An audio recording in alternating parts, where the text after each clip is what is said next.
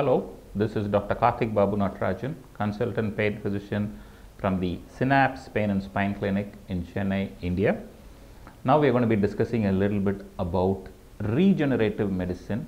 When I say regenerative medicine, I mean injections like platelet rich plasma or PRP injections, bone marrow aspirate concentrate or BMAC injections.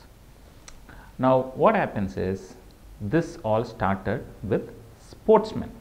Now, in sportsmen, if normally somebody in the general population has a ligament, tendon, muscle injury, what we do is if there is a tear, we wait for the tear to heal. It may take 3 months, 4 months, 6 months. After the tear heals, we go back to action. So, this is what normally we did. So, we basically waited. Now, in sportsmen, these, pay, these sportsmen have to go back to action fast. They have to play for their respective teams, national, international, or in the league. So, you cannot wait for that period of time. So, what we started doing is we started taking the blood, we processed only the growth factors and injected into wherever they had injuries. If they had injuries in the shoulder, in the elbows, in the knees, in the ankle, we identified what this injury was, confirmed this with MRI scans. Once we knew what these injuries were, we took the patient's own blood, processed the growth factors, and injected accurately into where this injury was. Now, what this PRP or the BMAC did was it went to the site of the injury, stuck like a groove around the injury, thereby healing the muscle ligament tears. So, these patients recovered much faster in a matter of weeks and they went, went back to started playing. Now, this is a concept that started from sports medicine.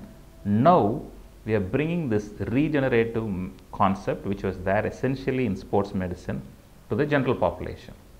So, when do we do PRP or BMAC injections for musculoskeletal conditions? So, the common conditions which we treat are shoulder injuries, rotator cuff tears, slap injuries, supraspinatus, infraspinatus, muscle strains, shoulder impingements, subacromial impingement. So, these are the conditions in the shoulder. We treat them for tennis elbows, golfers elbows, injuries around the wrist. We treat a lot of conditions around the ankle, uh, tendonitis, plantar fasciitis, Achilles tendonitis, posterior tibialis tendonitis, peroneus longus, knee arthritis, bursitis. So, these are the group of injuries. So, basically a lot of tendonitis and partial thickness ligament or muscle tears. So, these are the conditions in which we treat patients with regenerative medicine which is essentially a PRP or a BMAC injection. So, what we do is first we assess these patients with shoulder uh, supraspinatus tear, partial thickness tear that group of patients. We confirm the diagnosis by doing the MRI. A lot of these patients initially we may try conservative management but if the conserva- if you think the conservative management may not work sufficiently or you think these patients have to go back to action fast, we hasten recovery of this process by doing a PRP injection. So, typically the commonest indication where we do PRP injection is a rotator cuff partial thickness tear. The muscle that I am talking about is called supraspinatus. Now, typically how we do this is we call these patients to the procedure room or the operation theatre we draw the patient's own blood, let's say about 25 to 30 ml of blood. We do a process of centrifugation under a controlled environment, thereby taking out only the growth factors from the patient's blood. So, roughly about 25 to 30 ml of the patient's blood, we will be able to take out about 2 to 3 ml of concentrated growth factors, which we call as platelet rich plasma which is PRP. The same source, if we take this from the bone marrow, which we normally harvest from the iliac crest, it's called bone marrow aspirate concentrate or BMAC. But most commonly we do PRP injections for a lot of musculoskeletal pain conditions. So, we draw about 25 to 30 ml of blood. From that we process about 2.5 to 3 ml of PRP. Before we do this procedure, we know exactly where the injury is from prior MRI scans. Under sterile precautions, under ultrasound guidance, we inject the PRP into wherever the patient is having injury. Now, once the PRP goes inside, it goes and sticks like a glue around the injured place like the shoulder and it heals much faster. So, the patients can expect relief from about 5 days to a matter of 2 weeks. The relief may not be dramatic like a steroid injection, but the relief is sustained and it is a permanent solution. So, in a way compared to a steroid shot which we were giving earlier, the PRP injections are much much much more effective, much more safer and the relief that you are going to get is long term. Post injection we put these patients on an exercise regime which we call as the rehab regime. These exercises are taught by the physiotherapist.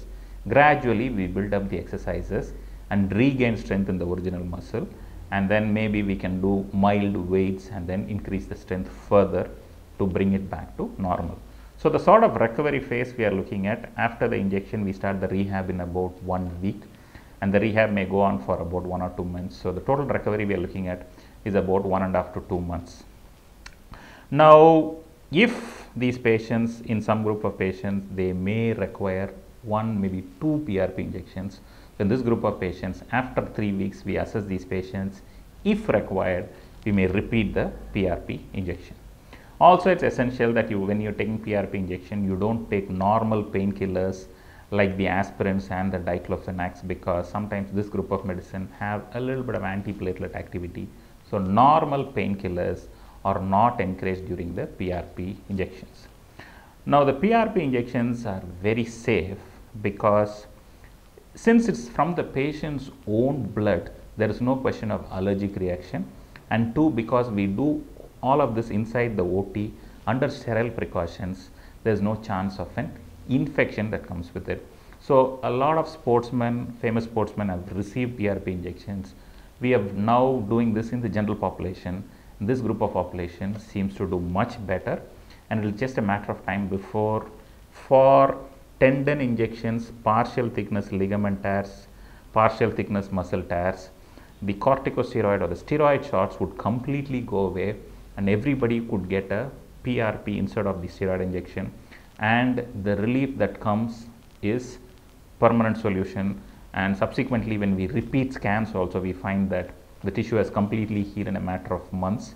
So, patients who undergo PRP injections for tendinopathies we also do PRP injections now for joint arthritis, knee osteoarthritis. This group of patients, we find that they do very well in terms of relief. They're able to do the exercises better.